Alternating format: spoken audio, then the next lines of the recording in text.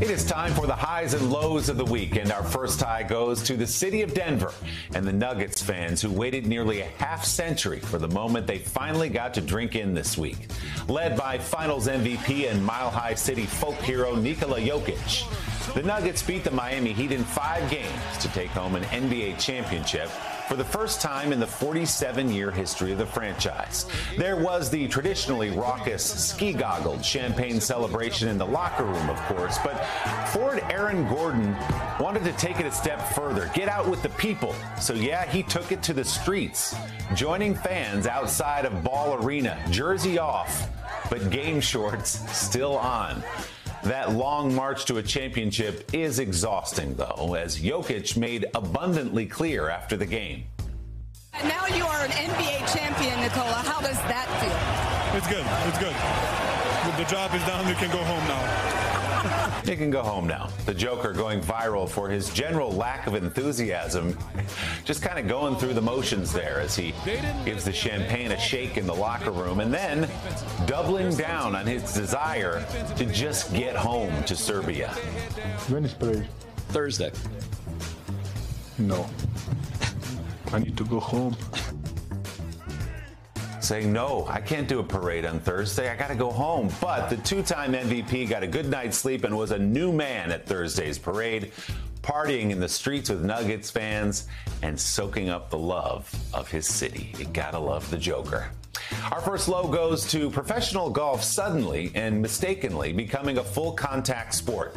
Canadian golfer Nick Taylor sunk an incredible 72 foot putt to win the Canadian Open in Toronto, becoming the first Canadian to win the tournament on his home turf since 1954.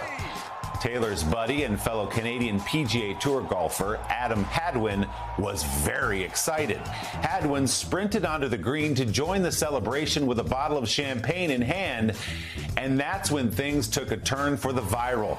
A security guard, thinking Hadwin was a rowdy fan, just executing a perfect form tackle of the tour player, dropping him to the turf of the 18th green at Oakdale. Let's take a look at the slow motion replay here. Just drops him. And check out Taylor's caddy interrupting the celebration to say, wait a minute, I think we know that guy. We're happy to report Adam has recovered and is back in action at the U.S. Open this weekend. With due respect to that winning putt from Nick Taylor and that title for the Nuggets, our next tie goes to the most impressive championship achievement of the week.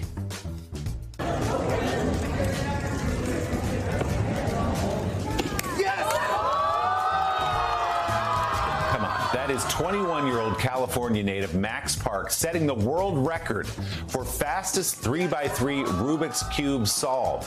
He did it in an impossible 3.13 seconds to the delight of fans just going nuts at the World Cube Association competition in Long Beach. Max also holds the world record for 4x4, 5x5, 6x6, and 7x7 cubes. He is a legend in the speed cubing community and even was featured in the Netflix documentary about the world he dominates. Max started playing with Rubik's Cubes as a kid to help his development after he was diagnosed with autism at the age of two. Way to go, Max. You are indeed a legend. Our final low goes to the rival Boston Red Sox, coming after our legendary Yankees radio broadcaster John Sterling up in the booth the other night. It was completely unintentional, but still. Boston's Justin Turner fouled one back out of play straight behind home plate at Yankee Stadium, directly at Sterling's play by play position. 3 2, swung on, a pop foul back here. Ow! Ow! Ow! It really hit me. I didn't know it was coming back that far. Ball game over. Yankees win. The Yankees win. You know, wow, took a foul ball straight to the dome, but ever the professional, Sterling continued his call, and the next day he was back at work with a few bandages. Turner, who is an all time great guy, it has to be said, sent Sterling the ball with a note and a band aid. Hey, thanks for watching. Don't miss the Today Show every weekday at 11 a.m. Eastern, 8 Pacific on our streaming channel, Today All Day. To watch, head to today.com slash all day or click the link right here.